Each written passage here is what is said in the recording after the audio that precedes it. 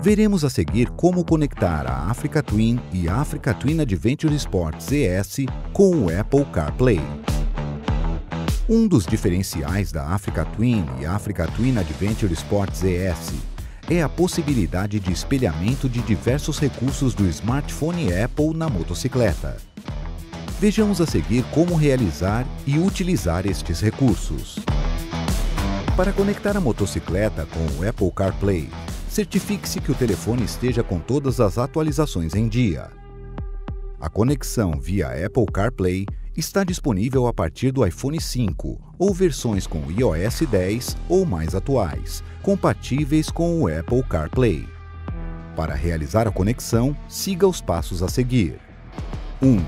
Realize o emparelhamento do telefone com a motocicleta via Bluetooth. 2. Agora faça o emparelhamento do headset intercomunicador com a motocicleta. Para usufruir de todos os recursos do Apple CarPlay, é necessário que pelo menos um headset intercomunicador piloto seja emparelhado via Bluetooth com a motocicleta. 3. Conecte o telefone na entrada USB disponível na motocicleta com o cabo do telefone. 4 será solicitada permissão para conexão na motocicleta e, a seguir, no telefone, solicitará permissão para acesso aos dados do Apple CarPlay. 5.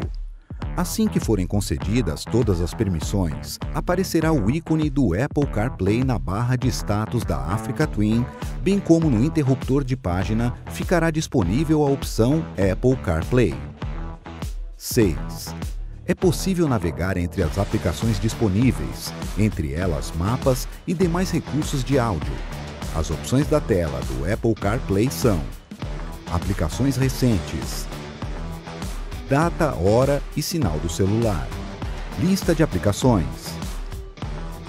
Assistente de voz Siri